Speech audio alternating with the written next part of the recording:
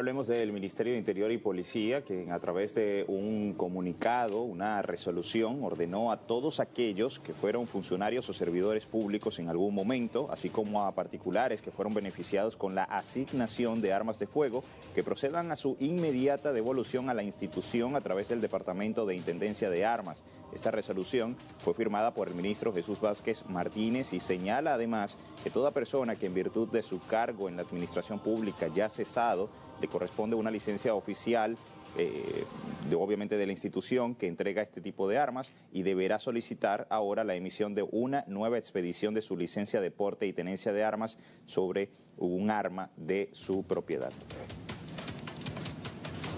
Y desde el año 1900